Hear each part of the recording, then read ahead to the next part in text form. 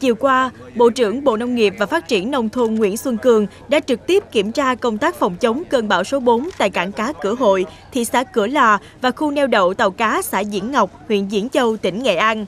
Tính đến chiều ngày 29 tháng 8, tỉnh Nghệ An đã có hơn 3.700 phương tiện với hơn 17.000 lao động vào 18 khu tránh trú bão an toàn, còn hơn 70 tàu thuyền đang trên đường vào bờ trú bão.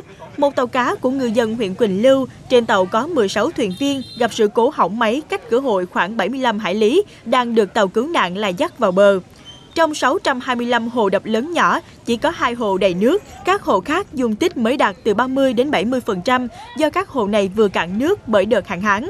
Với các vùng sung yếu, dễ xảy ra sạt lở đất, Nghệ An cũng lên phương án di dời dân đến nơi an toàn. Cơn bão số 4 được dự báo là cơn bão mạnh, có diễn biến phức tạp.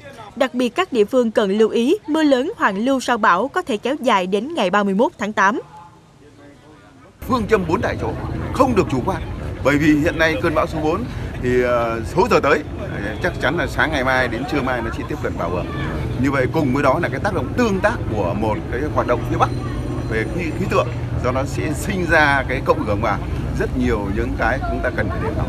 Thứ hai đây một cái cơn mà hoàn lưu trước, trong và sau gây mưa rất lớn lớn. để hết sức chú ý. Và đây là những cái vùng mà ờ, sông suối chúng ta độ dốc rất cao, ngắn. Thế rồi diện tích, số lượng hồ rất là nhiều.